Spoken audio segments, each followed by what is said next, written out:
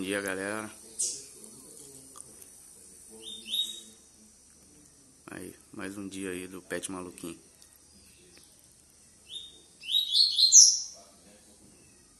Hoje eu deixei ele na capa, abri a janelinha e deixei a fêmea ali do lado. Sentindo que ele tá cantando mais fibrado, não tá revoando a gaiola. Então ele tava cantando mais parado.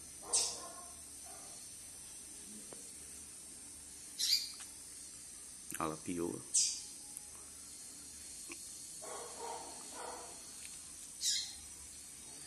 Ele piou pra ela agora aí, ó.